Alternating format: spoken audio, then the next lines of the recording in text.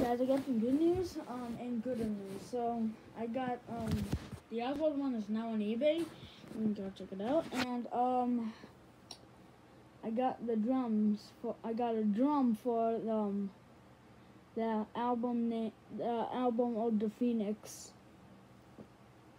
Yeah. By the way, if you don't know, um, the Phoenix is Phase Two is actually named um, Blood, the Bloods and Angels. There's gonna be like different versions of it, and um, the Angel one is gonna be like the calmer one, and the Blood one is gonna be like the faster moving one. It's just like the Bravery. Alright, bye.